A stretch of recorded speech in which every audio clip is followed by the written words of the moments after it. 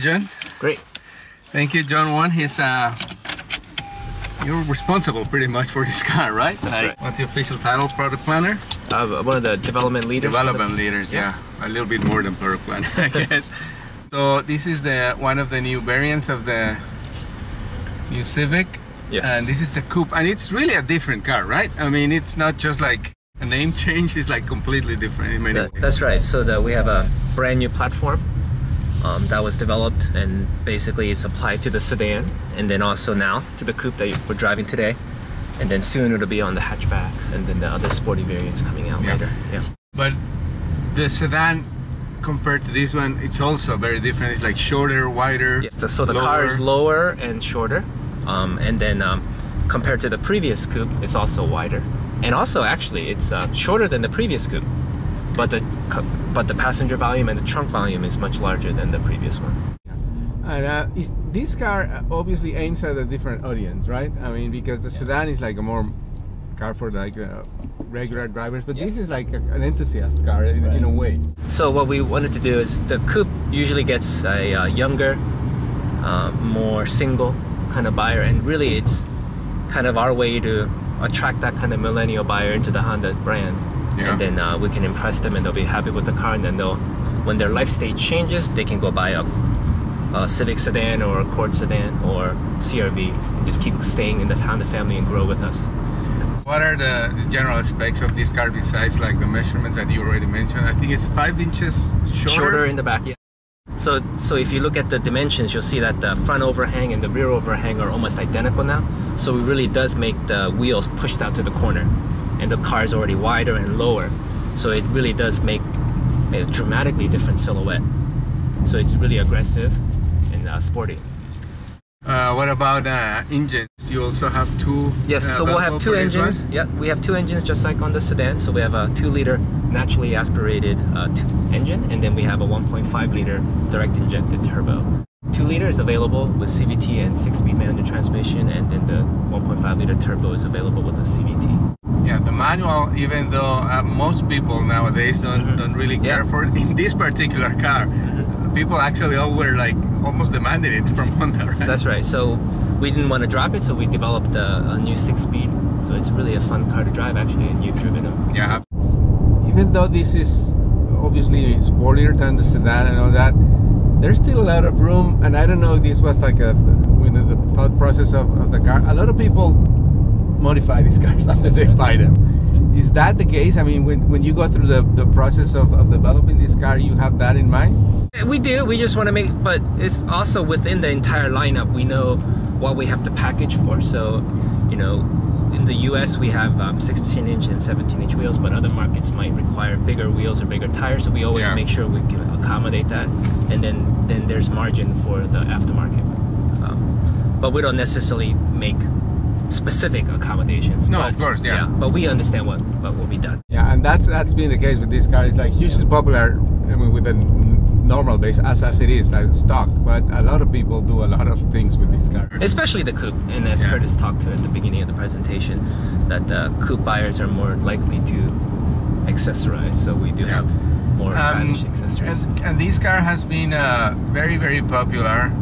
Uh, for what what generation is this for the coupe? I mean, the the, For the- Civic in general is 10, right? Mhm. Yeah, and the, for this coupe itself, this is the sixth generation. So it started back in '93, um, and that was also um, developed at uh, in America actually at our Honda R&D center. So it was Yeah. designed in LA and then developed in Ohio. And that was one of the first projects our R&D company ever And, and as it is with uh, with a sedan, you are able to put a lot of technology in these cars. I mean, you have different uh, different variants of the car, but like the top of the line has like technology that just like maybe five, ten years ago was not even available in most luxury cars. and and and that's true and what we wanted to do was kind of not limit that to some more expensive car or bigger size car right we wanted to kind of democratize those features and you shouldn't be penalized for wanting a smaller car right this is a, still a compact car but you know someone's lifestyle or life stage might require a smaller car but we don't want them to suffer or not be allowed to have the same kind of features So, so what are the things that the highlights of, of, you know, of that technology offering for this uh, Um, Civic I mean, Coupe? Technically, from a chassis point of view, we have a lot of strong capable hardware. We have the variable gear ratio, dual pinion electric power steering. We have um, hydraulic compliance bushings, disc brakes all around, big tires, big brakes, really powerful upgraded booster. And uh, I was uh, actually referring a little bit to the technology. Oh, okay, yeah, and we have Apple CarPlay, Android Auto, the favorites for um, everyone. We have a touch Which screen. works fabulously. I mean, Yeah. we just tried it and it's like so easy. Plug in Yep. the thing and you don't have, you don't need apps, you don't need That's right. anything. It's just like in and out and like you're, it's working. Yeah, and the cars with the navigation, we have the new Garmin system that's really well received, worked great. Um, um, and then um, just like, look, for example, here the electric parking brake, Yeah. But that clear completely clears it up, and you can really see obviously how much Then, higher yeah, the console think is. this uh, Yeah. cluster in the middle is Yeah. huge It's because you can even take this yeah, you can out take that out. Yeah, you can take that out, and then and then you feel like uh, six so many- iPads maybe. one for every person. Well, yeah, exactly. oh, five. How Well, you about that? fit Five. Five Yeah. exactly, and a few, Yep. and then you uh, a few iPhones Right, there. and then at the bottom you can see there's a big slot for a one liter Nalgene bottle. yeah. So really, so John, this is still considered a compact car, but it has grown a lot. I It mean, this is almost like the coupe Honda Accord for the previous generation. Oh, I don't know the Yeah. dimensions, but but Uh, the, the car's classification is still compact and that's kind of where we position the car but it is really spacious and we packaged it properly so it's low and short but still plenty of space for four or five people and their luggage So again, talking about the, the big difference with the sedan, uh, the thing that strikes uh, us now when we saw it for the first time, like the exterior design, it's it's pretty pretty sharp. I mean, especially the lights in the back. yeah so it's got uh, full led illumination and it goes across and something that's unique is the on the trunk that light that goes across isn't consistent if you look at it it kind of dims as you go towards the center to about half brightness so it's Okay. a very unique look and the, and that's why it took so it, took so long to develop properly and and the reason is even though the light in, in the daytime kind of goes across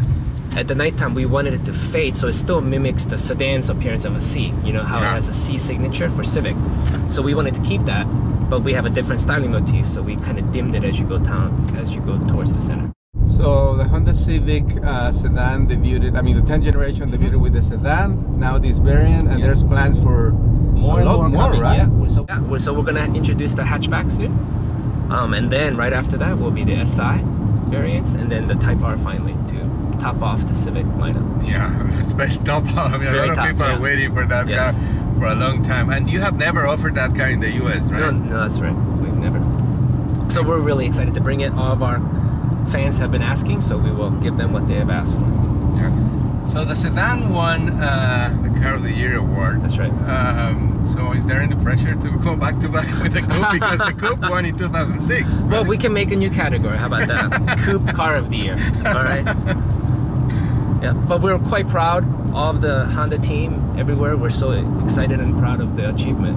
And uh, you know, when we were working it, we, we knew we had something special, so we kept pushing Yeah. to finish the development so we can make it the best. Well, thank you very much for your time, John. Uh, it's, you. uh, it's it's a fantastic car to drive, a, a lot of fun, and uh, as you said, like all the other variants that are coming up. I mean, I can't wait to drive.